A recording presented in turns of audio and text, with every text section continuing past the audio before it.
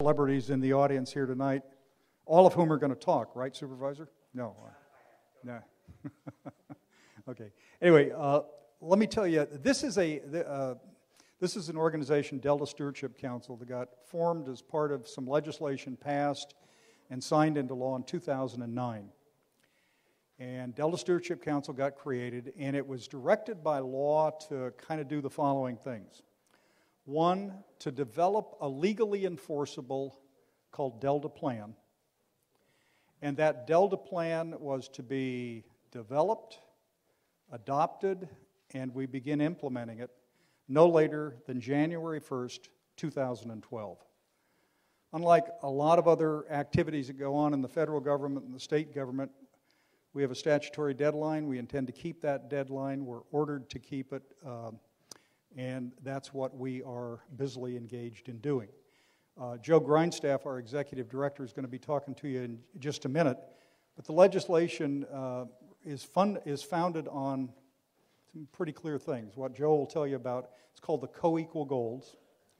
And that is a co equal goal for the state of California of a reli- more reliable water system for California and a protected and improved Delta ecosystem to be done in a way that is respectful of the Delta, its unique characteristics as an evolving place.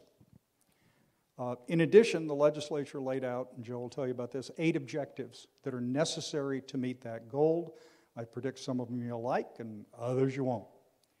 Uh, but that's the law. Uh, that's what we're doing. Because it is, uh, the Delta Plan, when it's adopted, will be a state regulation.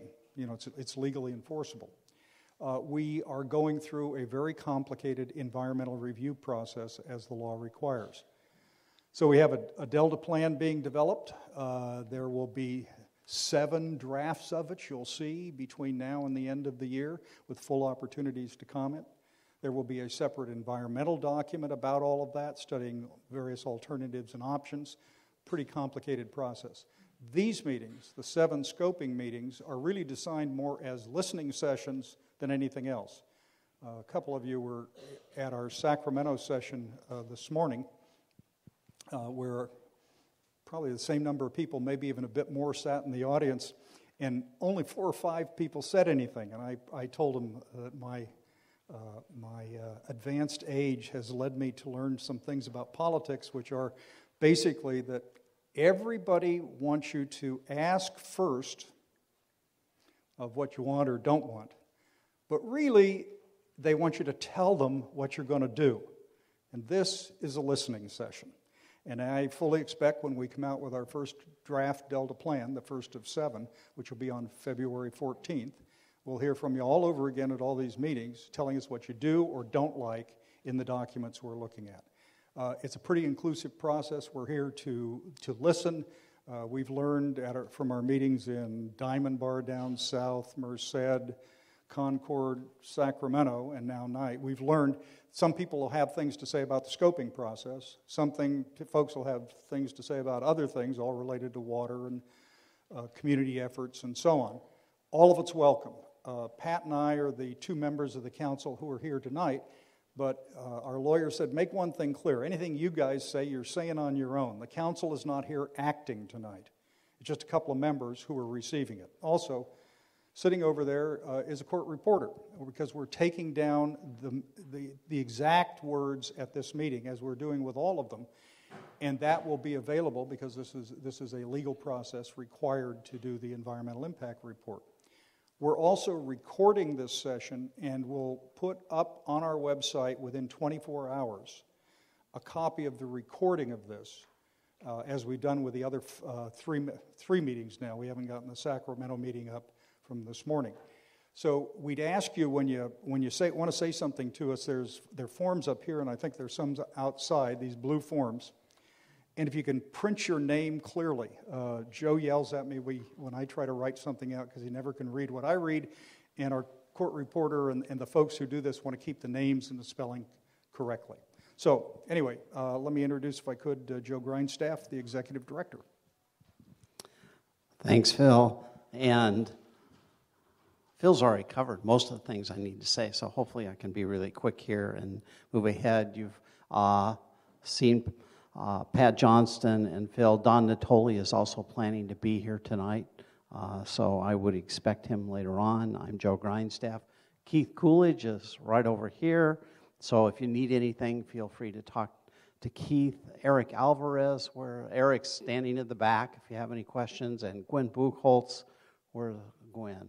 Gwen's standing at the back too. So if you guys have any questions and would like to talk to anybody about these issues after we're done with the meeting, feel free to do that. This is about uh, a scoping process as part of the environmental document. We kind of laid out here are objectives and here are some potential strategies we want to consider when we develop the Delta plan.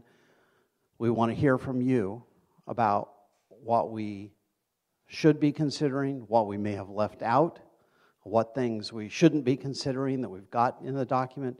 This is really about hearing from you about what it is we should consider as we develop uh, the Delta plan. At the end of the meeting, we'll also have an opportunity for people to talk about other things that aren't part of scoping but that are important to you and that pertain to what the council council does.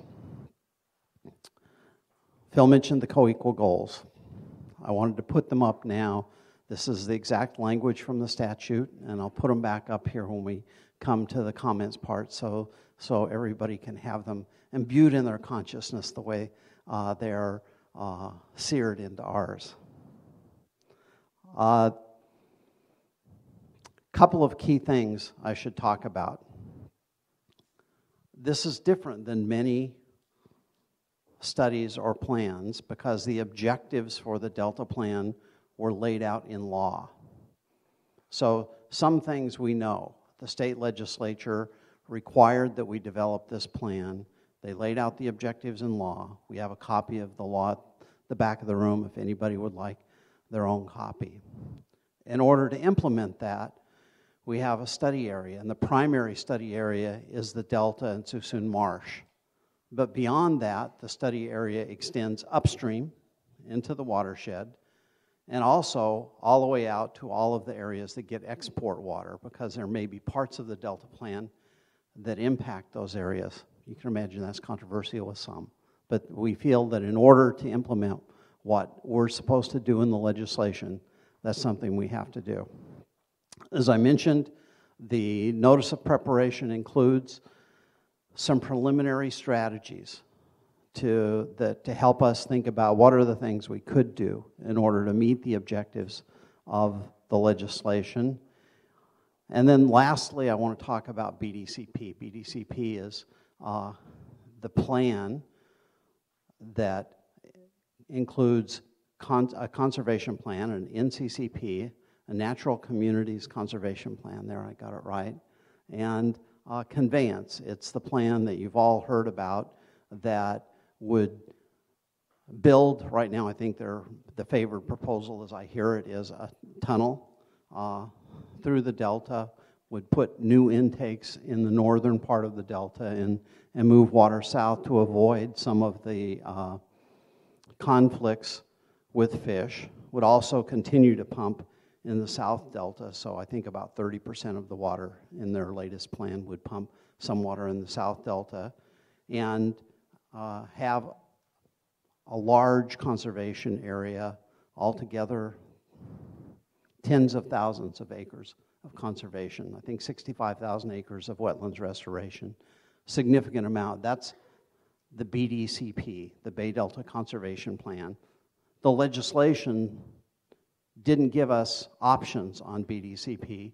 What it said was that if the BDCP was complete, it had to meet certain objectives, and it listed them out in the law. And again, you can look these up there, and it says that the director of Fish and Game, at the end of the process, is to determine if BDCP meets these standards.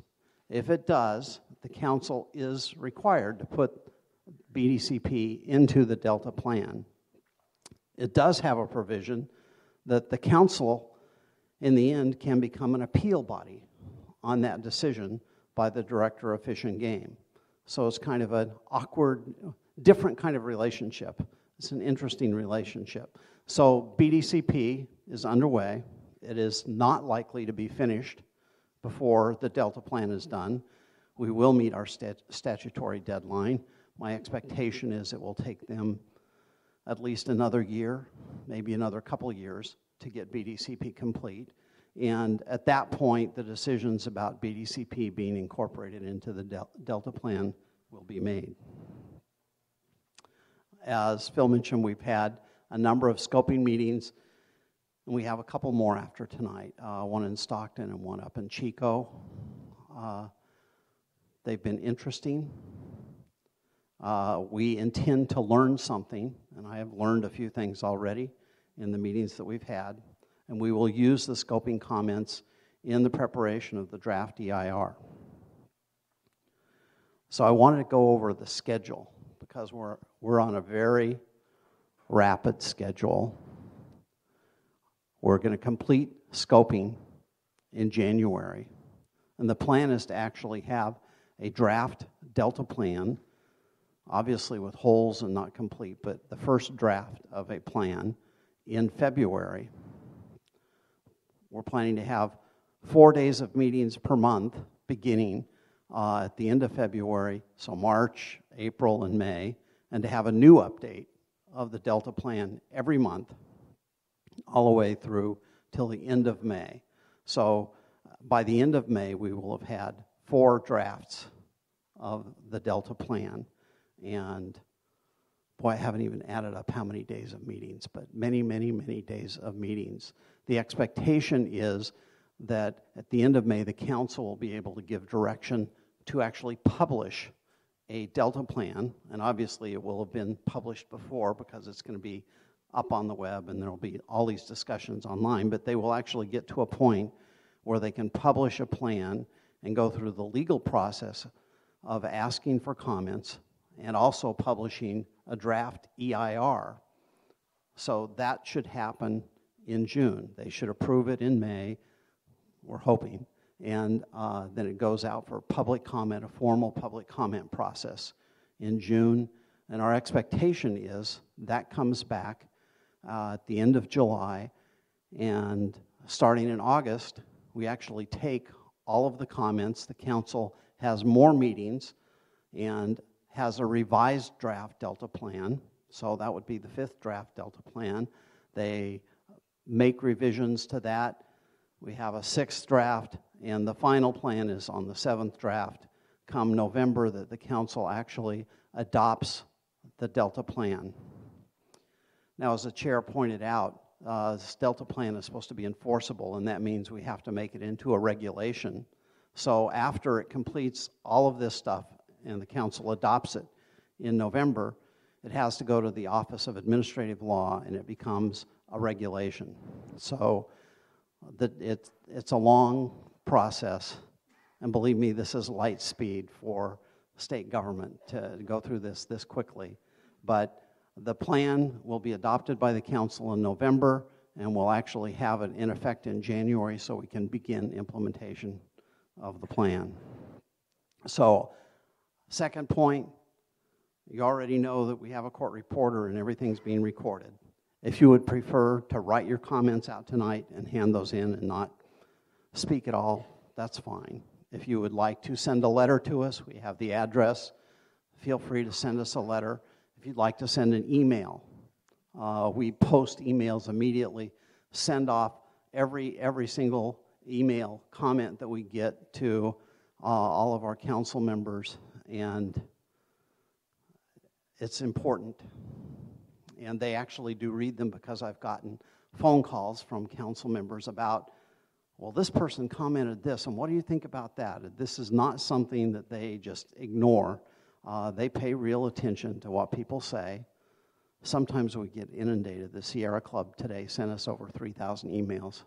Fortunately, they were all the same email, so we knew, you know, members of the Sierra Club did, so we knew this we and we we have all of those, but that that made it somewhat easier. Otherwise, we might overwhelm the council. Uh, but we still we still end up getting significant comments almost every single day, and I really encourage you to take the time to write them down and send them to us. They will be read and paid attention to. As I mentioned, the very end, after we've had all of the comments on scoping, there'll be a period for public comment. So if anybody has any comments at the very end, feel free to do that. With that, I'm going to go back to the co equal goals and hand the mic back to the chair. Okay, uh, thank you. Uh, cou- a couple people have submitted the blue forms already. Dave Sterling's going to sign a uh, third blue form uh, when he gets around to it. Uh, and Mark Pruner, you said you wanted to be last, but your form was first. Where are you? Did he go down? He's disappeared. No, he disappeared momentarily. Okay. Uh, Mr. Verboon. Mr. Verboon, Verboon Farms. Yes, sir. Uh, but either microphone uh, should be working. Uh, give, it a, give it a little pop with your finger just to test it out, if you would, please. Thank you very much. Yeah, I think it's, is it working? Kind of, kind of quiet, but It is kind of quiet. works all right? All right. Can you, can you hear back there? Can the audience hear his comment? No. Let's try the other one. Make sure, make sure it's on. This will work a little bit better? Yes, Oh, sir, yeah. it does. Okay, I'm, I'm here uh, from Layton, California. I'm, uh, I'm a farmer. Uh, I'm not directly impacted by the, anything that happens up here, but uh, I have a lot of neighbors that are. Uh, Things, the, the, the impacts that I want to see studied in this deal are all of the impacts, and that would include upstream diversions before they get to the delta that are diverted in and around and under the delta. Uh, the reverse flows and, and what can be done to offset the reverse flows. The, uh, the delta exports, of course, is going to be a factor. Uh, wastewater discharges into the bay and the delta because there's still wastewater discharges that need to be cleaned up that are going into Suisun Bay. Uh, predator fish control, we need to kind of get that population back in balance if we're ever going to get the, the salmon and the, and the delta smelt survived. And invasive species. And- And salinity control that is, is I know is a concern up in this area and, and a valid concern. And with that, if there's questions, I would Uh, ju- Just a su- a suggestion, uh, Joe had mentioned that there are copies of the governance law that set us up and, and talk about the Delta plan. Yeah, you've got that. Page 20 on the, uh, under Delta policy are the eight statutory objectives that the legislature set out. Yes. There are many other provisions in the bill that apply to this Delta plan, but if you start there, I think you're going to find all of them fit in those general categories, and there are specific directions for us on invasive species, on uh, extensive uh, uh, discussion of water flows for both the Water Board, for the Department of Fish and Game, and for us to consider in the Delta Plan. The, uh, the, the reason that, that the last thing that I said was for salinity control is because, you know, the delta, nobody is going to argue that the delta is in a state of decline. I mean, that's just uh, not disputable. Okay? If you go with the Bay Delta Conservation Plan as currently construed, and I'm not going to make any friends back home with this statement, you're simply creating another upstream diversion that's going to further allow the intrusion of salinity because you're going to lower the level upstream. And, you know, I personally believe that, that at some point there's going to have to be all of the, the contributors to the upstream diversions are going to have to contribute water back to the delta because the, the downstream focus that has been there in the past simply cannot uh, solve the issues. It'll come as no surprise to you that at our Merced meeting, and I predicted our Chico meeting, the argument will be directly contrary to the one you've made. Their argument is that only exporters of water from the Delta are responsible for anything to do with it. I mean, it's, we hear that a lot. But yes, we, we're, I, That, that, that was the only main comments I Okay, wanted to get into great. the record, so, Mr. Verboon, thank you very much. thank you. Very helpful. Uh, Mr. Van Loben Sels. Right there, yeah. Mr. Van Loben Sels has made approximately 75 scoping comments on various plans and reports in his career, and is more expert than almost anybody else in this room, certainly more expert than me. I, I, I don't think it's that many, uh, Chairman Isenberg, but uh, uh, thank you. Uh, thank you for coming this evening. Uh, it's, um, it's an opportunity that uh, this community uh, values to be able to uh, come walk across town and, and, uh, and give our scoping, meeting, scoping comments. I've, I've read your document pretty thoroughly, and uh, there are certain areas that I'd like to address. Um, the, uh, on page nine, uh, there's a discussion about Are, are you talking about this notice of preparation Yes. document? Uh, Yes. Ladies and gentlemen, that's, is- this is, this is how the environmental process starts. Law requires Right. a And- notice of preparation. So he's referring to this document, which many of you picked up outside, multi-page. Yeah, and I think this is, this is the starting point that you, you're coming from. Yes, sir. Uh, you refer, uh, that's a, there's a re- reference to reasonable and bef- beneficial use of water and how that should govern uh, the water plan for the entire state of California. Yes, sir. And my question's there, and, and it needs to be clearly defined what, what that means, uh, who will define it, who will enforce it, and um, you know if it's if it's a, a whole consortium of agencies that are going to do it, there needs to be some consistency and some understanding of it before we get very far in the environmental process. The, uh, the, uh, the statute that created us referred to two things the reasonable and beneficial use doctrine, which is a provision of the state constitution going back to 1928. And it says that water should be used beneficially, it should be used reasonably, and there can be no wasting. Uh, The responsibility enforce, with enforcing that provision has always rested with the Water Board or its predecessor agency, but also the Department of Water Resources has certain functions in that regard.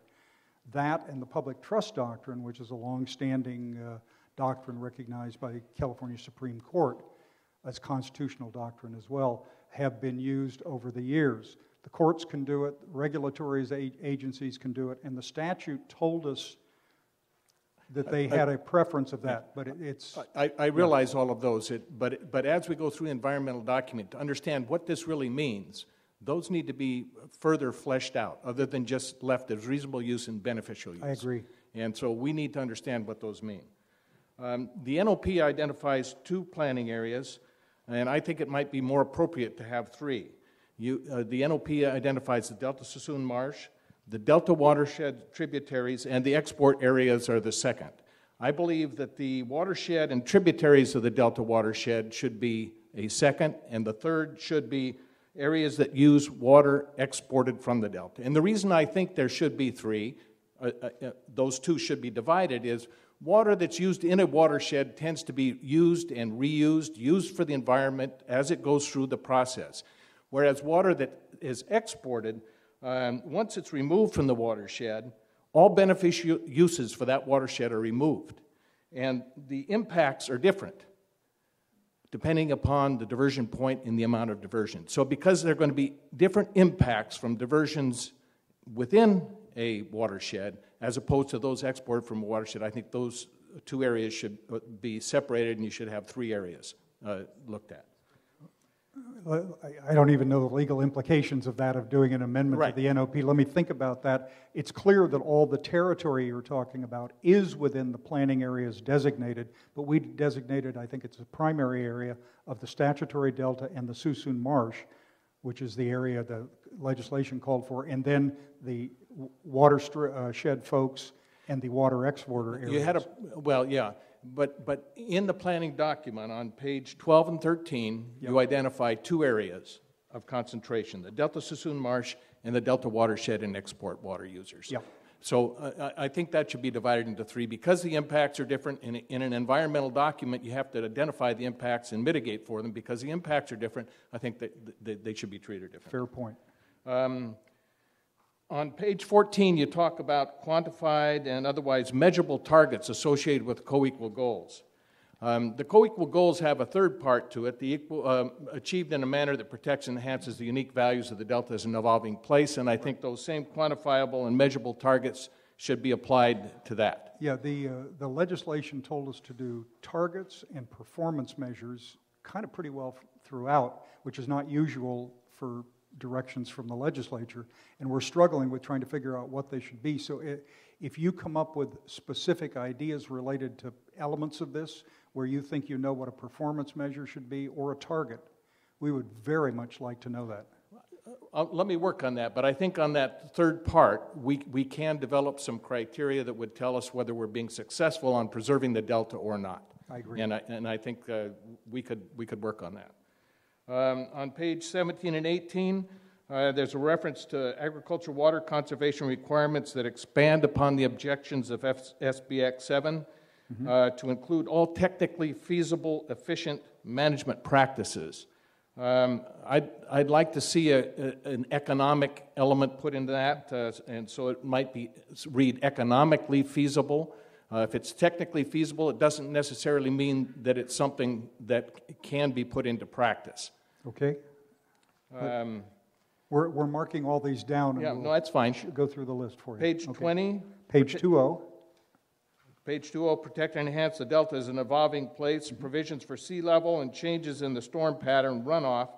Uh, There's, there's no explanation of what is meant there, but I think uh, you've got some verbiage in here on page uh, 27.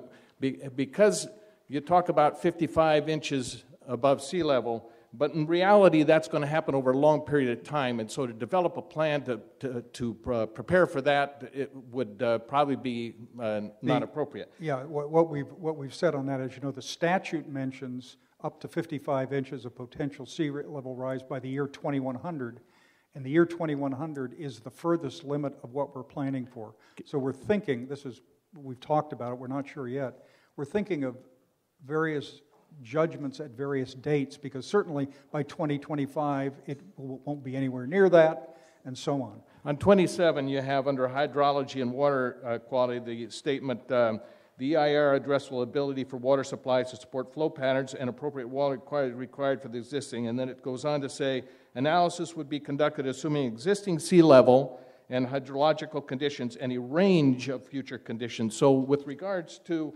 uh, page 20 and protecting and enhancing the delta's evolving place, I, I propose that you do that as well. Have a range of, of different uh, conditions that you prepare um, a, a plan for. I, I think that's what the staff is going to be doing, and we appreciate, if you have some suggestions later as to what the levels might be at what times. I mean, we're actually, you know, we're looking for those suggestions. Uh, Yeah. Um, well, I, I appreciate that under hydrology, you start off with the current conditions because Yep. that's where I'm, I, you, You have to I think that. you have to start and, Yep. and, uh, and try to protect that in the plan. Um, under land use uh, strategies on page 21, I have the same comment.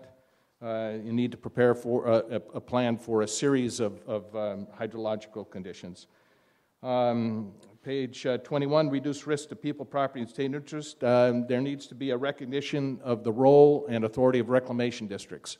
Um, And uh, I think you have the state, uh, the state agencies are involved in that, but I think you Yeah, need to have we've, we've reclamation been districts. meeting and we're listing all the reclamation districts, of saw which there there was- are yeah, many, yeah. uh, as, as potential responsible agencies under this. Um, Under you, uh, under, um, uh, on page 23, lines 33 to 34, the NOP states, "Consider expanding in practice and/or legislation the ability to use eminent domain procedures to further policy objectives of the Act." I- I, I think the council needs to understand the impacts of the threat of eminent domain.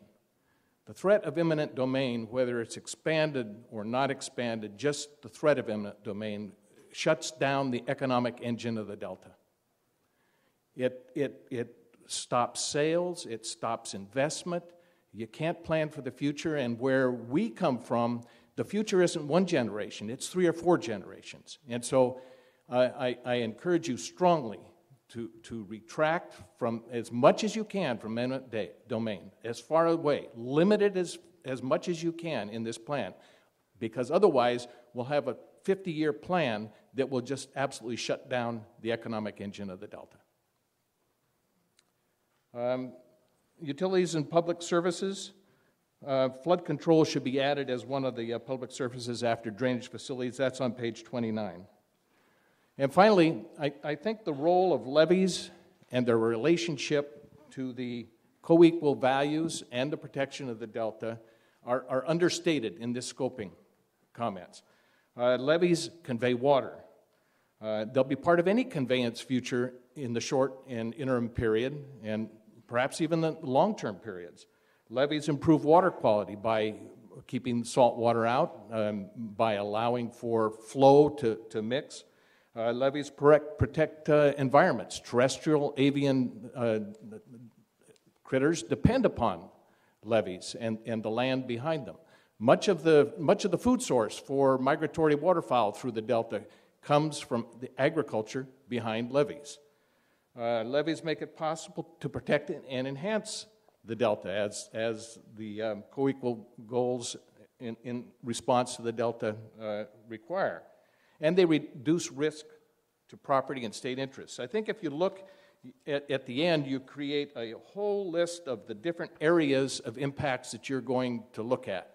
And most of them, the levees are instrumental in, in reducing the impacts and protecting the values uh, that you have there. We're, uh, I, I, should tell you, we're struggling with the question of how far state obligation should go legally to maintain non project levees, And any advice you have for us on that would be very much appreciated. You, you understand the financial implications are immense, but put aside that for a minute. Yeah, I understand that. But if we're going to spend uh, up to $20 billion on some kind of a system, we already have a system in place, and it's a matter of making that system work. And I think it would be far less expensive to take the system we have today and deal with it. But that's something that, that you're going to deal with in your, in your EIR. Uh, but those are the comments on your, on your scoping document that, um, that, that I had. That's, that, that's very helpful to us. Could I make a request as you think sure. about tonight and your testimony? If, if you want to add anything else, if you want to further refine it, yeah. shoot us an email. We put well, it on the web. That, that would be very helpful to us. In, in, this process, I'll probably represent Sacramento County Farm Bureau and the, uh, and, and, the, the Delta Caucus, which is the five county farm bureaus. Right. And I, my intention is to try to get you some written comments by the 28th. And it's helpful, the feedback you've just given me now as that to how, how, how much detail we should go into. Sir, thank you very much. Thank you very much. Okay, thank you. Okay, did Mark Pruner come back in? There he did. I called you first, even though you said last, because yours was the very first submitted form, but you were out of the room, Mr. Pruner. By the way, for people who don't know where to find him, every morning on the working day, Peet's Coffee Shop, 19th Street, Sacramento, somewhere between 7 and 8 a.m. And I want to say, Mr. Chairman, that some of my most productive lobbying sessions are there as well. With me, yes. Um, first of all, um, I want to thank you for coming to Clarksburg. I know that you had some options in the Delta and some options around the state, and uh, thank you very much for coming to the North Delta and make it easy. Second of all, thank you for coming in the evening. Some of your meetings are in the daytime, uh, and for those that work, um, having uh, an evening meeting is much more accessible, and it shows that you're willing to uh, to work with the members of the community, the people that are most impacted by uh, by what's proposed here. Um, I really enjoy listening to Russ. Russell is always um, really insightful, and he actually reads the material really well and quotes chapter and verse. I'm not going to do that. I just want to make some, some foundational comments that I think um, permeate throughout the document, are important and essential to creating something that actually works and something that doesn't leave the communities, the people, the agriculture, and the Delta in uh, a diminished state, but rather um, creates uh, an improved environment. Um, I, Russell mentioned flood protection, uh, and, I, and I just, if I may underscore what he said, that flood protection is um, absolutely foundational to everything that we do here to water quality, to fish, to people, to agriculture, to everything. Uh, and, I know in my mind, flood protection arises to uh, one of the uh, co-equal goals. Uh, I know it's not the co-equal one of the co-equal goals, but without flood protection, everything else literally perhaps might get washed away, and that would be, of course, in nobody's best interest. Uh, and there's some um, flood protection elements, uh, levee by levee, and the RDs are the the real um, the real library of what flood protection means. So, uh, if I could ask your staff to communicate with triple nine three zero oh seven one fifty and the other um, RDs here, reclamation districts, you'll find that in their offices and in their institutional memories, uh, there'll be a, a wealth of information that you're just not going to get in a book, a report, or anything else, even um, uh, possibly put up by DWR, if I may be respectfully say so. Um, also, part of what we do here, how we live, um, how generations have lived here, I've learned um, has to do with the special districts and the special organs in the community, uh, whether it's the church, um, the fire department, the schools, um, the um, flower, the, um, the garden clubs, for example. Uh, and I know you can't list every single one, but the point is that uh, the fabric of society and how people relate to each other and how people husband the land has a whole lot to do with how they group together. And it's so easy in a piece of paper to talk about data and facts, figures, population, water flows, fish populations, et cetera, but miss the essential elements that make the Delta work as a place and make it, um, if I can say so, bless the state and become a place of unique, uh, a unique place. Uh, so the, the special districts, even the lighting district here in town, for example, understanding how that functions and, and what it does, um, I think is critical to put uh, and to describe in your in, in the EIR as it comes out. Um, and and we, land ownership and water ownership are also fundamental elements of what it means to have life here in the Delta. Uh, and in my um, brief um, perusal of the document handed out back, I didn't see anything about that. I know that other agencies govern that uh, in part, but as a critical element of how the Delta operates and how the people of the Delta function together, that system of rights that's established uh, are foundational to how we all relate to each other uh, and other other folks as well. And then and then last, um, and perhaps um, equally important with everything I've said, is the cornerstone that agriculture provides for the community.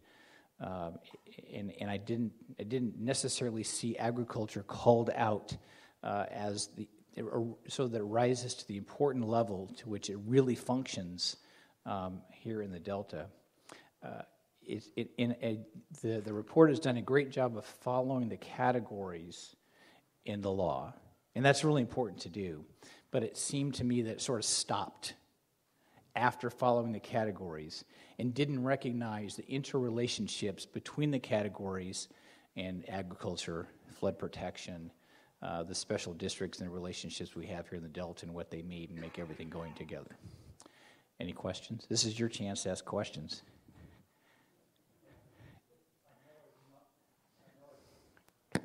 I know I do not have to remind you to feel free to submit written comments. As a matter of fact, I read one of your written comments to the water board on one of your clients' cases uh, earlier this week.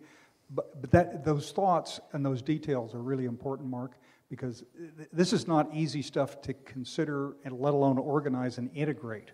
You know, you keep somebody raises a subject, uh, endangered species or uh, non-native species, and four days later, that's all you've talked about, and then you've got to go back to the other things. So how you approach it is really important. Your comments are appreciated very much. And and I want to ask you to please come back, uh, as, as I think you implied that you would, uh, not only to this community, but to the other communities in the Delta as you go through the process. I know that the statutory process for developing the EIR could mean you just sort of, I st- we stop, get the scoping comments, and then, uh, you know, launch the, the, Well, the three volume work. We're, we're uh, required by law to at, meet at least two days a year in the statutory delta. Of course, we're meeting at the West Sacramento City Hall most of the time, which is in the secondary zone of the delta. That isn't a problem. We're going to try to get out as much as we possibly can during this process. It, uh, this last seven-day scoping meeting around the state uh, has stretched uh, everybody's ability, but that's what you got to do. Good, well, thank you very much. Thank you, sir. Mr. Mark Wilson. Mr. Wilson. Um, One thing I'm concerned about uh, is the timeframes that you're talking about uh, having to, to meet by law. Uh, My, uh, my advice would be, don't worry about the timeframes. Um, we don't get budgets on time, we don't get anything else done on time in California, and I don't see anybody going to jail over it. So I think the, the process should be uh, longer and more deliberative uh, than, than your statutory deadline. And if this is truly going to be a plan that affects all parts of the state, uh, I would hope that these scoping meetings would be in more, there would be many more of them in, in all parts of the state, not just one down in Diamond Bar and one up in Redding and, or, or whatever, and that there'd be um, extensive meetings throughout the state. So uh, there is time and, and enough input to do a, a program that maybe can stand the, the test of time.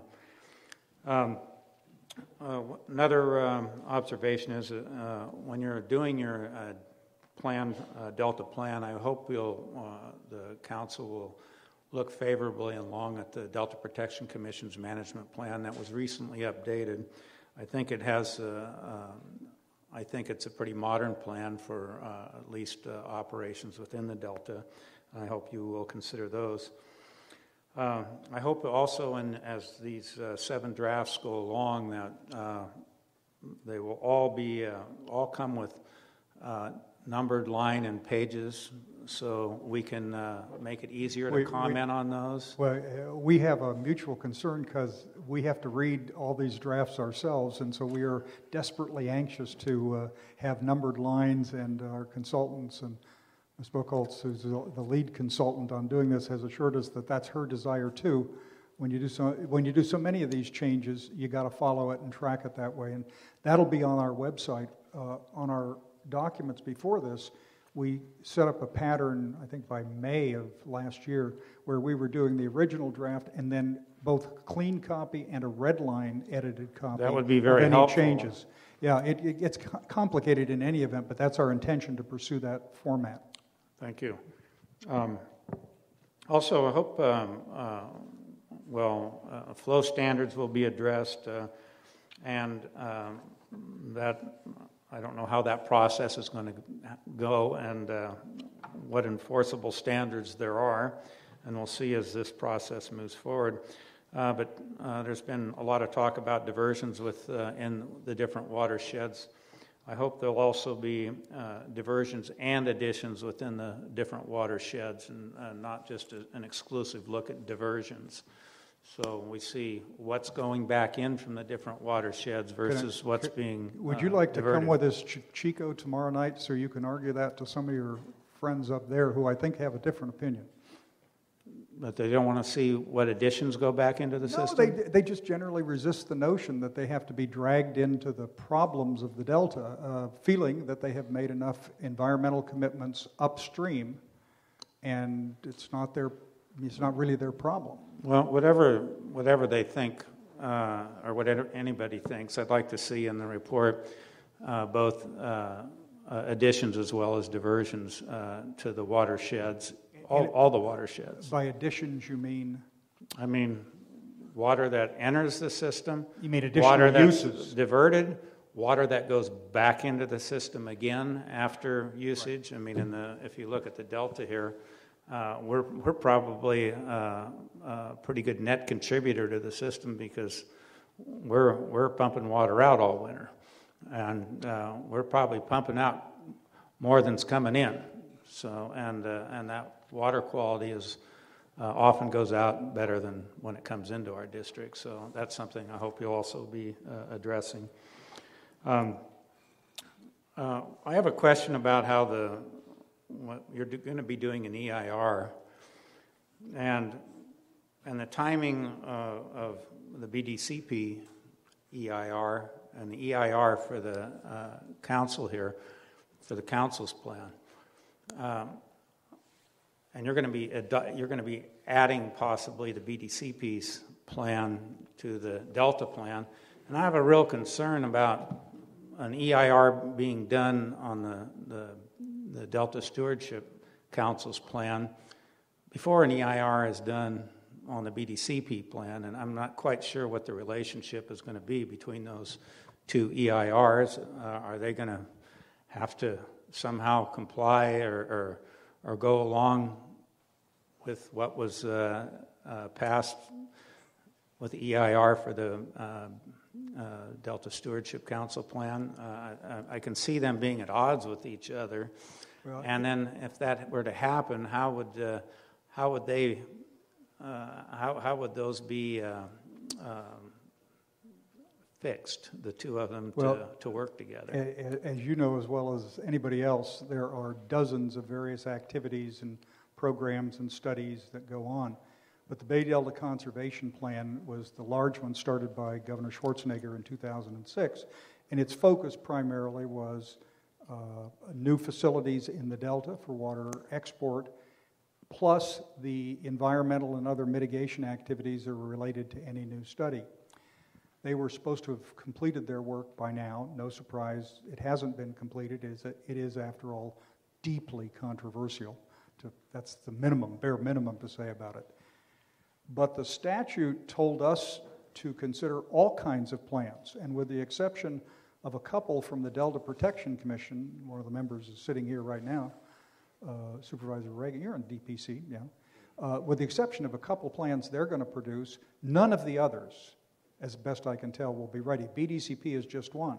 The Central Valley Flood Control Study was supposed to be completed 2011, then it got an extension for 2012, then they got an extension to 2014, and the last word we heard is they're only going to have a conceptual plan in 2014, and then they'll make all their choices in 2017. Well, Joe says they're not that far behind. Uh, we've so far uh, concluded that our direction is real clear. I mean, there were no exceptions in the statute, and I've, since I've been involved in many of these discussions, as Pat Johnston has, on all these range of issues for most of our adult life, as you have, uh, these issues are not new. The solutions are controversial, and the choices are tough to make. Uh, we're just going to have to use the best available science, the best available factual information that's available, and cobble it together. But the statute is clear.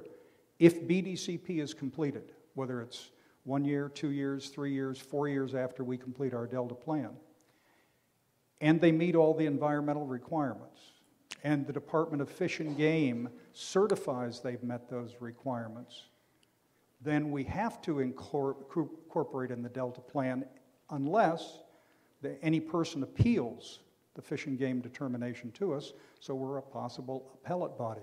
So we're being real careful not to try to violate that potential appellate role uh, whenever it happens. But that is an unusual aspect of this law, not commonly seen. It, it lays out a clear course of action both for BDCP, but for us in dealing with the reports. On the other reports, they are largely, they're overwhelmingly discretionary for us to accept all or part of them as, they, as we believe they meet the, the co-equal goals. All right, and if, if the Delta Stewardship Council has its um, conservation plan as part of its plan, and uh, it gets through the EIR, and, and uh, the Bay Delta Conservation Plan completes its EIR, and, uh, and they wind up having contradictory uh, aspects to those two plans. Now you have two totally separate plans that have been through t- their EIRs. Is the EIR for the Bay Delta Conservation Plan and, and the conservation actions there going to supersede those of the Delta Stewardship Council, or Delta Stewardship Council is going to uh, um, Well, we, be we above those, or? We, we, we have many requirements of law that the Bay Delta Conservation Plan does not. For example, we're required to promote and encourage statewide water conservation. That's not their purpose. We are required to do ecosystem protection and activities in the entire statutory delta.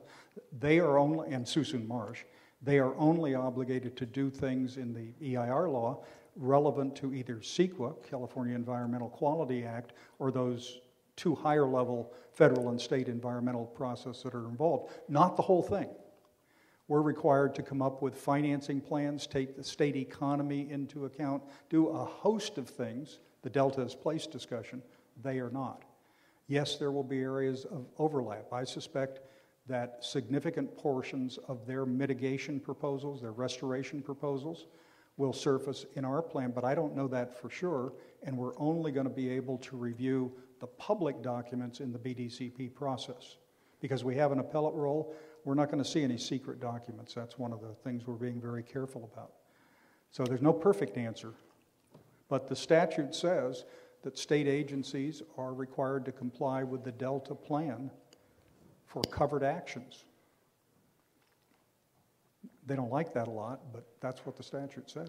So, so what you're saying then is that the BDCP uh, uh, mitigation plan and so forth be, be um, actually in agreement with the plan that the Delta Stewardship Council uh, does for, for in Delta um, conservation measures. I I think it's fair to say ours covers, a- covers a larger territory. I know, I know you, you, Yeah. you said that. Yeah. But I'm talking about stuff within the area that BDCP is going to do conservation measures.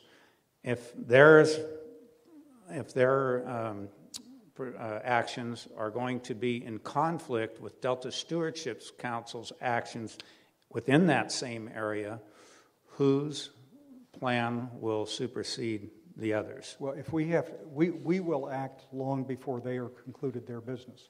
I suspect some of our judgments are going to eventually affect their recommendations should they reach agreement. I can't promise you that, can't guarantee that, but I think it's likely.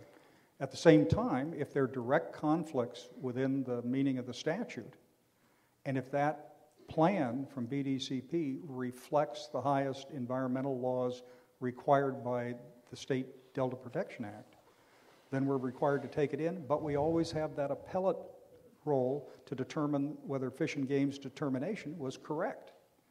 Now, that isn't a perfect answer, but it's the closest I can get for you. Okay, looking forward to seeing the drafts and red line additions and So am I. lined and numbered and so forth. Thank you. Thank you very much. Uh, Mr. Bill Wells, the California Delta Chamber and Visitors Bureau. Mr. Wells.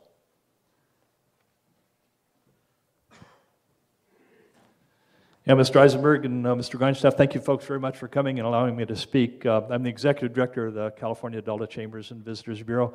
Happy to see a few of our members out in the audience here. That's wonderful. Um, our main concern is uh, the business people and uh, farmers and uh, residents of the Delta. Uh, in your own literature here, um, you say that Delta is the largest estuary on the west coast of the United, or the, on the west coast. That's true. The uh, Colorado River Delta was once larger. It was destroyed by water diversions back in the early part of the 20th century. Uh, it looks to us like this is what's happening here. Um, as we speak, the uh, Bay, Delta Con- Bay Delta Conservation Plan folks are planning to divert the Sacramento River with two tunnels that'll be able to take 75% of the water out of the river um, and divert it. So we, uh, we think this is going to be a huge disaster, and I'm calling upon you as the uh, Stewardship Council to help uh, stop that. And I'm also calling on the citizens of California to help prevent that. It's going to be a, a nightmare. Uh, earlier speaker said the cost was approximately $20 billion. I think the reality is it's going to be 50 to $70 billion. So uh, it's going to uh, have a huge impact on the state of California. I'd just like to uh, quote a couple things. People say I'm always making up my own facts, so I don't. I always quote other people. Uh, this is from uh, Assemblymember Jared Huffman talking about the uh, salmon run uh, this earlier in 2010, just about a year ago. He said the, uh, the salmon season closing is a, a economic impact of $2 billion with about 23,000 jobs lost. Well, a lot of that's caused by the, the water flows in the river, so uh, that's a huge impact. And um, you could talk about the co-equal goals, but uh, one of the goals cannot be diverting the river around the delta, as far as I'm concerned. Uh, Westlands Water District is a huge user of delta water, uh, and here's information I pulled off their website a while back. In many parts of the district, salts are accumulating in the soil from the application of imported irrigation water. And uh, so you all know about Kesterson and stuff. This is, again, this is Westlands' own uh, verbiage. Um, and they say without a long-term solution, the drainage problem will become more widespread and severe throughout the west side. Well, the easy solution I see is uh, let them build desal plants and pull water out of the ocean. And the most disturbing thing, uh, the root of all this seems to be the California Department of Water Resources. This weekend, uh, the Delta Chambers had their uh, booth at the, uh, Cal- the International Sportsman's Expo at Cal Expo. And uh, we had a booth there. Department of Water Resources had a booth there three times bigger than ours. In fact, they're three times bigger than just about anybody else's. They were passing out literature touting the uh, benefits of uh, the State Water Project and the recreation opportunities. Well, they talk about everywhere in California except the Delta. And their, again, their map uh, that I'm holding up um, doesn't even show roads in the Delta. They show obscure, like Highway 4 goes way up into the mountains, but they don't even show it going through the Delta. Highway 160 apparently stops at Antioch. So uh, it looks like to me the Department of Water Resources has written off the Delta, and uh, I'm very disturbed. So I call again. I call upon all citizens and the Stewardship Council to help uh, prevent this diversion. Thank you, sir. One Thank you. final question, Mr. Isenberg, Yes, sir. if I could. Are you growing a mustache? Uh, only because I shaved at 6 o'clock this morning. Oh, that way. Anyway, so thank, Thank you very much. Did Thank you you, Mr. Wells. for me? That- No, that- thank oh, you very thank much. you. Mr. Brett Baker. Baker. When we were down here the last time in uh, Courtland, Mr. Baker made what he alleged was his first presentation to the Stewardship Council. I, that can't have been your first presentation. That was too good. Good to see you again. Good to be, good to be here. Um, you have to forgive me, I wrote down my comments. Uh, hopefully, one day I'll be as uh, eloquent as Mr. Van Loben Sels when I get up to speak. But um, I prepared this this afternoon under the premise I was only going to have three minutes. So uh, if you want to start your clock, it should only take me two minutes Keep, and keep talking. seconds. Keep talking. Okay. Good evening. My name is Brett Baker, and I'm a sixth generation resident of Sutter Island. I feel like I know most of you folks in the room here, so calm me down a little bit. I'd like to start by taking a moment to recognize we truly live in the greatest country on earth, uh, one like, the, uh, like this, where we can peacefully congregate uh, to have such public discourse. Uh, it's uh, really something special. I don't think we'd be doing this anywhere else on the globe. So I'm sure many of you have come here this evening to offer input to the Stewardship Council's Delta Plan. Uh, this 50 plan, the 50-year plan will dictate how our Delta will look in the future. Uh, I struggled while composing my comments for the evening. Uh, how could I possibly convey what I see as necessary components for a comprehensive Delta plan in just three minutes? Again, I was going on this assumption I only had three minutes here. I came to the realization that I could not. There are just too many aspects to the Delta. Far too many ongoing processes, local issues, statewide issues, ecological issues, economic issues, public safety issues. Heck, it'd take you more than three minutes just to list the issues.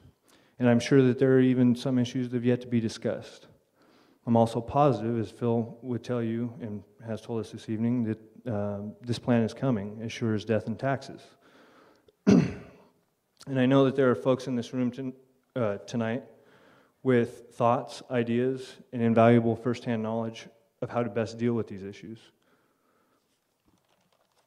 I believe it is imperative that we, the Delta community, ensure the incorporation of our knowledge and input as we will be lining, uh, living out this plan day to day on the ground as it is implemented. We would be greatly amiss to not engage in this planning process, for the vacuum we leave by abstaining will surely be filled by other outside competing interests.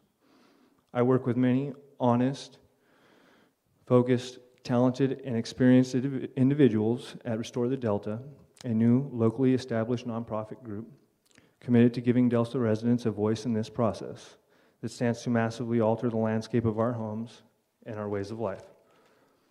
So, in closing, if three minutes or five minutes or 10 minutes isn't enough for you, please come join us. We want your input. We will listen. We will comment. And we will be heard. Thank you all for taking the time to hear me. I appreciate it. Thank you, Mr. Baker. Mr. Baumgartner? Mr. Baumgartner? There you are.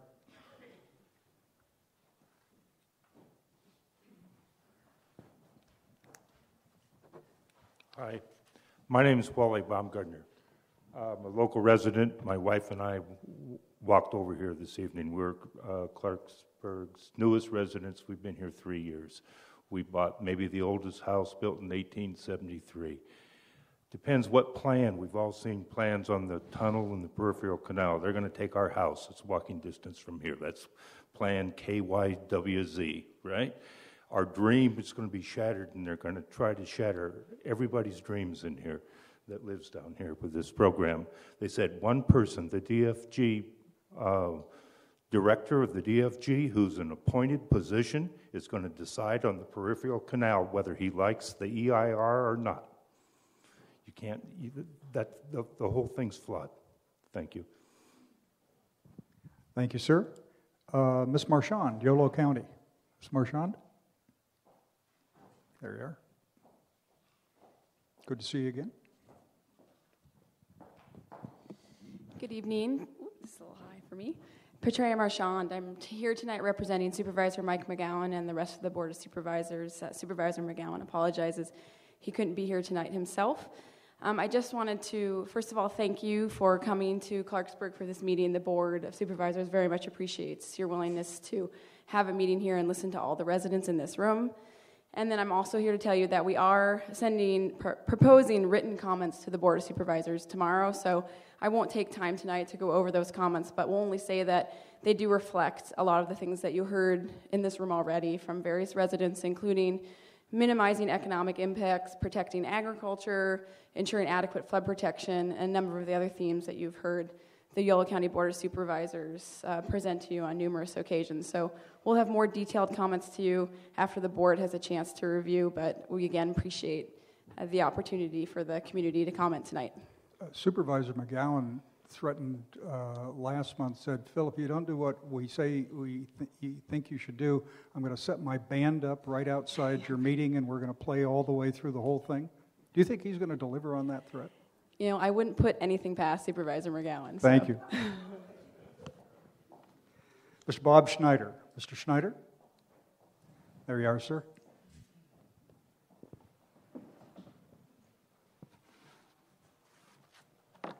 Hi, I'm Bob Schneider. I'm the Senior Policy Director for Tuleyome, which is a conservation organization, a 501c3 based in Yolo County. Uh, and our concerns embrace the environmental resources and decision-making process that affect the North Delta. Uh, we're submitting some scoping comments here, and I'll briefly go through some of those. Um, it's clear the Delta ecosystem is in a state of ongoing collapse. And whether we're living here or we're farmers or, or plants and animals, the threat of collapse through earthquake or flood uh, is very real. And, you know, something needs to get done or we will lose the Delta. Um, planning's desperately needed. We appreciate that work that you're doing.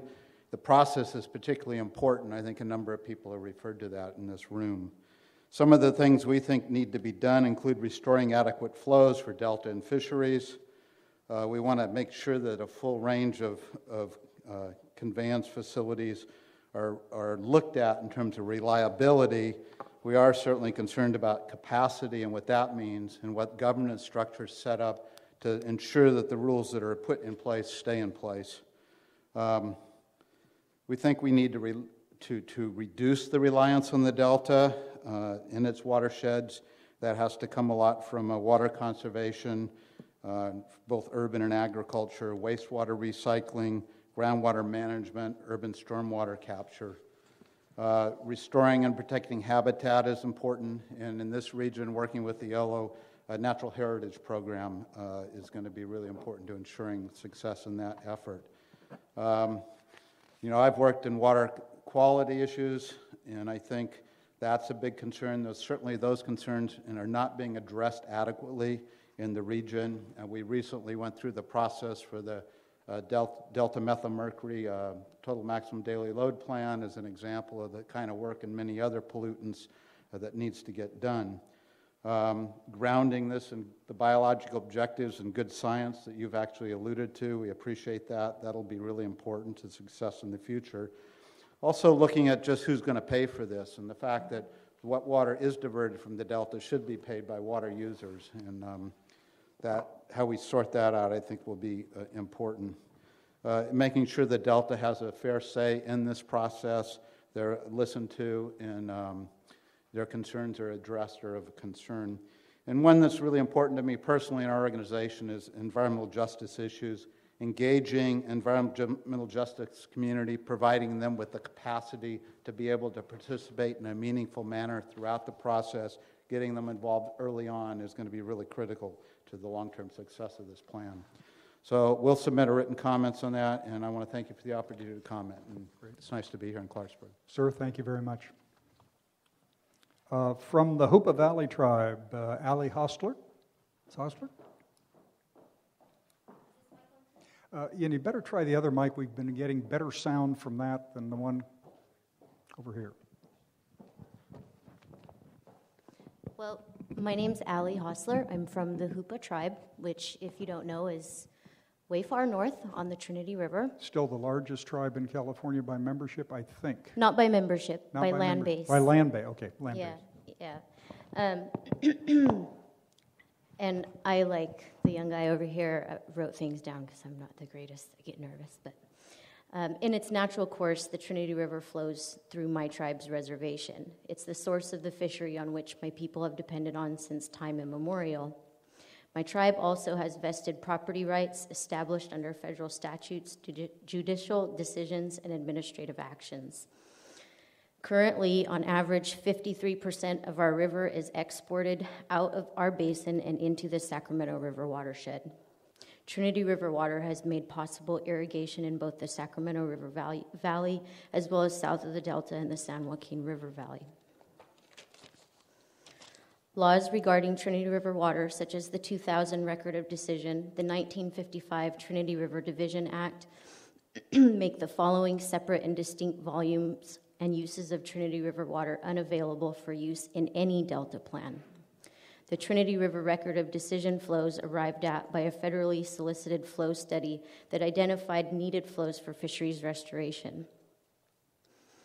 Currently, I think it's uh, on a, on a normal water year, it's 47% of the river stays in the Trinity River or in the Trinity Basin. By the way, Trinity is the only imported source of water into the Sacramento watershed. Also, more water that shouldn't be considered available in the Delta Plan is water promised to Humboldt County in the 1955 Trinity River Division Act of 50,000 acre feet. It's in the second proviso of the 1955 Act that authorized the division of the Trinity River.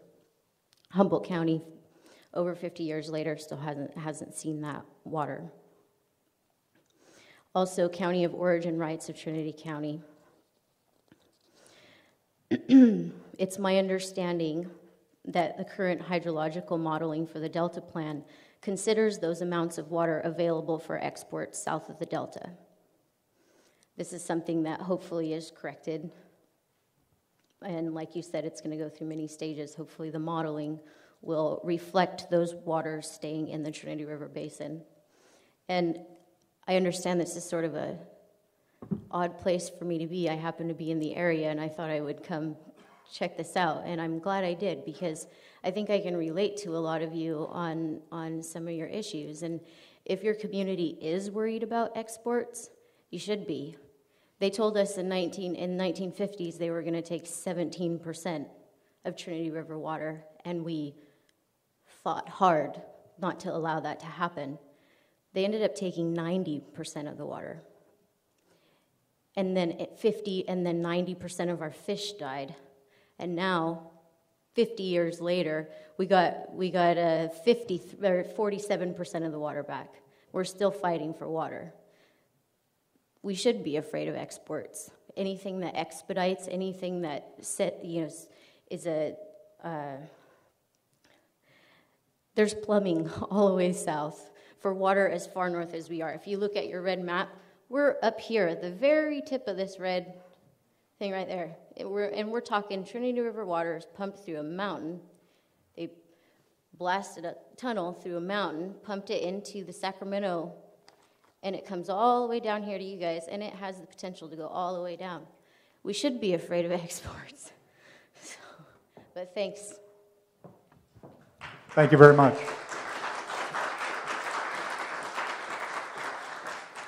Uh, Mr. Peter Stone. Mr. Stone. Yes, sir.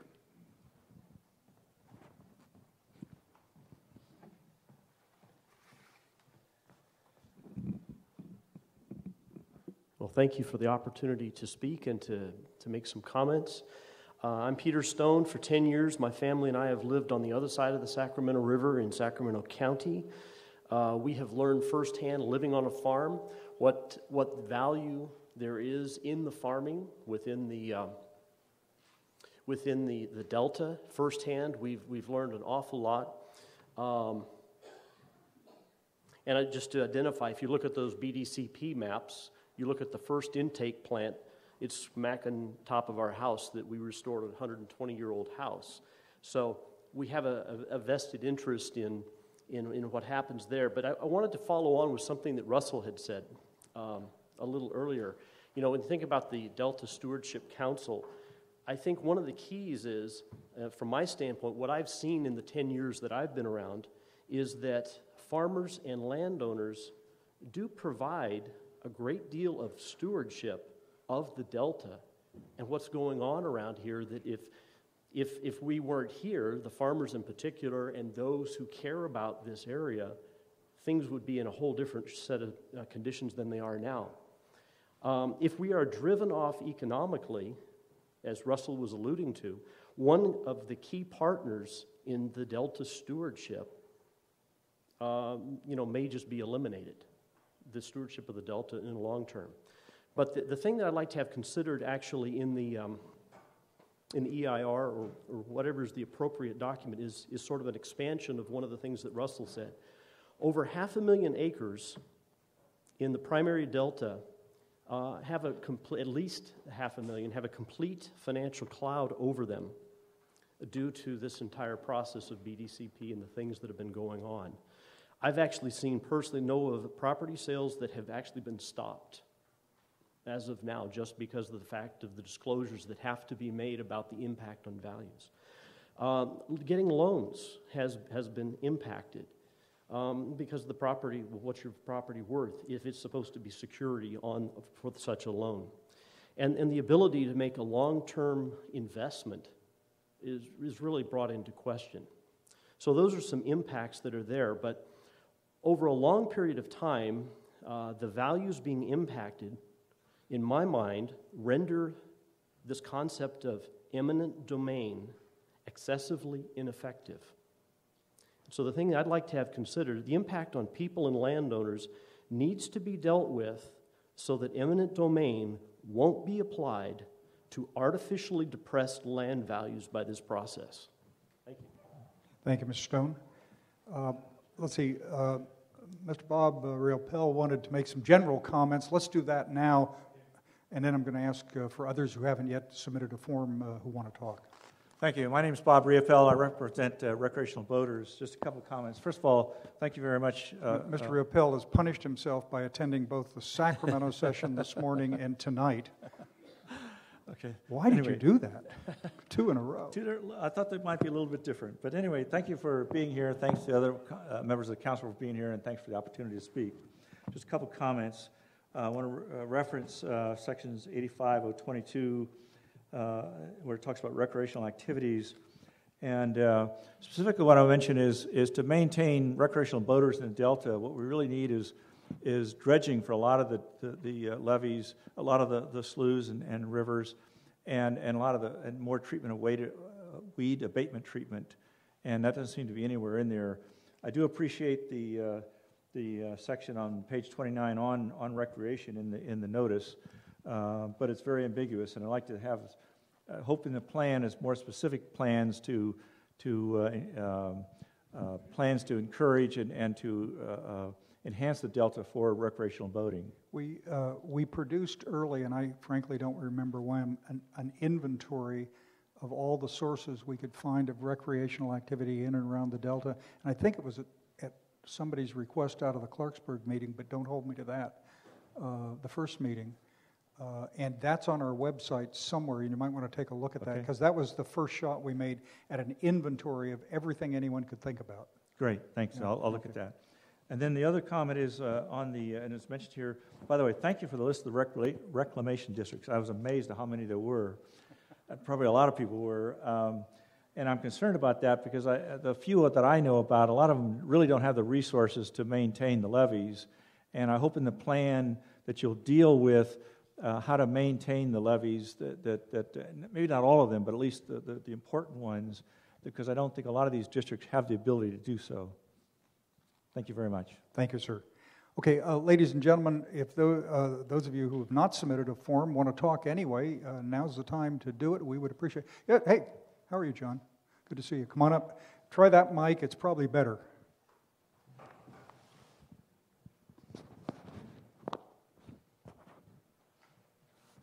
Well, Phil, I'm going to bring up an old subject Fish and Wildlife Service and Stone Lakes Wildlife Refuge. We ended up suing them over their EIR, and we got absolutely nowhere. They didn't have to answer anything. All they had to do is mention the problem. And um, John, hopefully. for, for, for the court reporter, could you identify yourself Oh, by name and John, John Baronic. Uh-oh. Courtland. Yes, prominent, prominent farmer, uh, activist. Come on now. Friend. Give Yeah. me a break. But anyway, um, I hope your charge uh, is that you will answer the problems and not just mention the problems.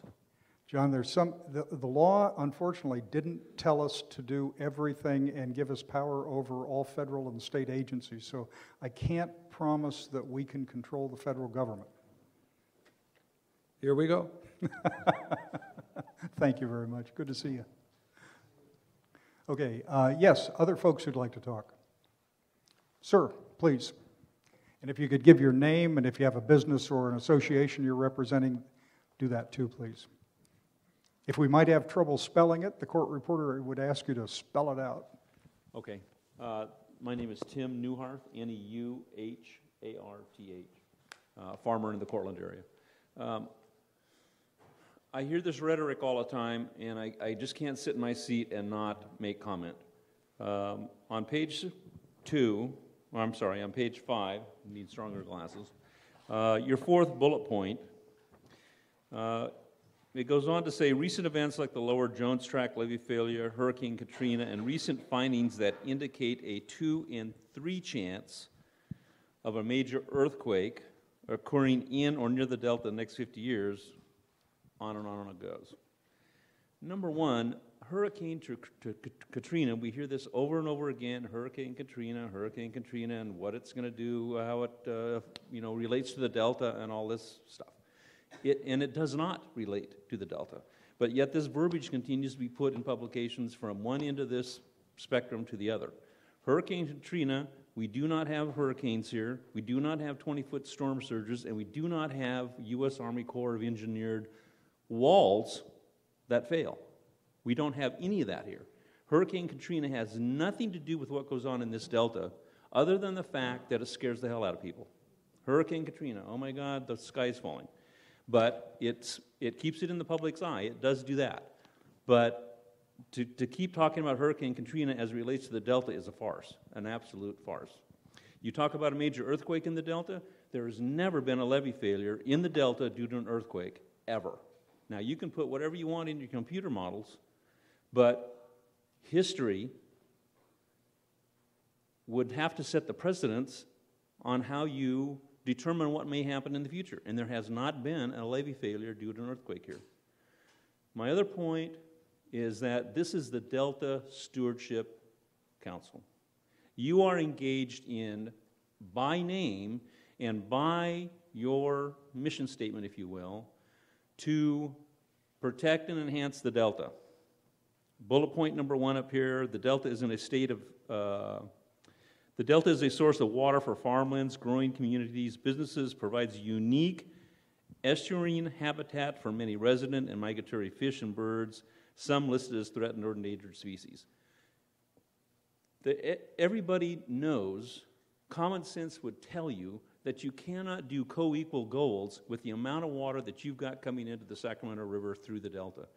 If we're going to take X amount of acre feet of water or cubic feet per second or whatever you want to term it, to the extent that they're proposing to do BDCP, there is no way that you can keep the delta anywhere near where it is today. And it's already threatened, it's already um, um, going downhill. The State uh, Water Resources Control Board, in their findings recently, said that there needs to be less water taken out of the delta, not more, in order for it to be sustainable or to be restored or whatever you want to put onto it. So, co equal goals, I'm waiting for the day that some committee, Stewardship Council, Delta Protection people, whoever, somebody will stand up and say, there is no way we can do co-equal goals with the amount of water that we have available to us at the moment. That's not going to happen unless you have more storage up north where you can bring water back down here and make it up for whatever you're shipping south. It's not going to happen. That's just common sense. Please, will somebody stand up and say it is not possible to have co-equal goals with the amount of water we have flowing through the Sacramento River? Thank you for your time. Thank you, sir. Okay.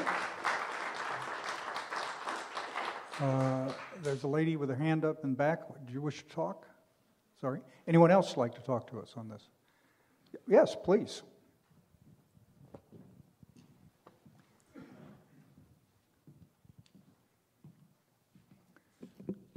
Good evening. Don't bother, I'm not going to be long. my, name, my name is Rajeen Reynolds. I'm from the South Delta, a mile north of Old River. My family farms and has farmed on Middle River since the 1880s. Middle River goes backwards when the pumps go on. I only have one thing to say. Patrick, 20 years ago, about, you stood with us in the South Delta and on Roberts Island when Lathrop wanted to put their sewer on our property. You remember that? That was, you're laughing. You find I'm it humorous. I- I'm smiling because you're going to mention me next, I'm sure. no. No? You have not stood with us. Okay. All right. You stood with us, and we held off Lathrop. And what we held off, Mr. Isenberg, was the effects of urban development upon the Delta. And the Delta Protection Commission was formed. What we are facing now are devastating urban effects and southern San Joaquin farming effects of water diversion. It's as simple as that. You, if you're going to be our steward, then just as the gentleman before me said, you need to reevaluate your co equal goals and this delta and the 150 year old farmland upon it needs to have just as much respect as any other area, or your plan is going to fail. Thanks.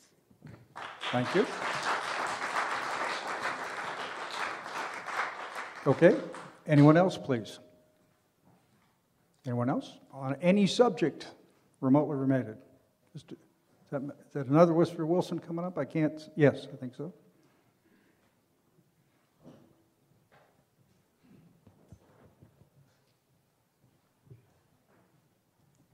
My name is Dave Wilson. Dave is a David. Uh, What I'm, uh, something you mentioned this evening, which uh, I think I've heard before, but it always bothered me a little bit. That was that uh, you plan to have 65,000 acres, is it, of, uh, of what? That was a reference to the Bay Delta Conservation Plan, which has tentatively identified 65,000 acres of land that, for possible habitat and restoration. Now, where are you going to find that?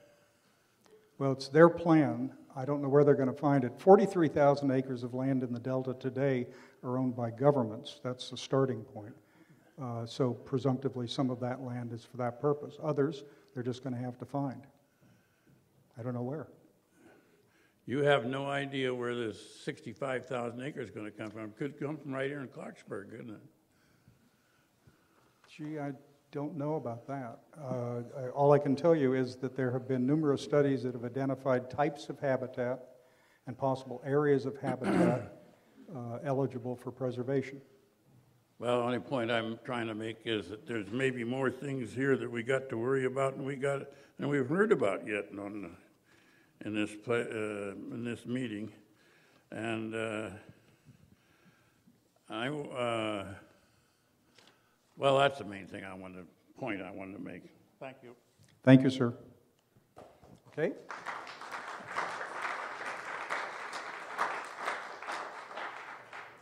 All right, n- next person. Anyone else? Anyone else? Going once. Going twice.